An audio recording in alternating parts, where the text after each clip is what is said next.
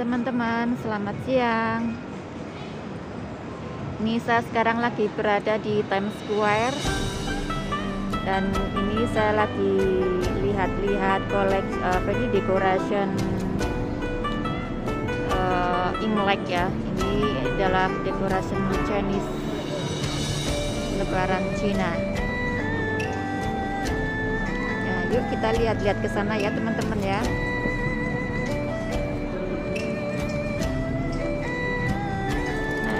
Bagus-bagus sekali nih. Itu seperti lion atau apa itu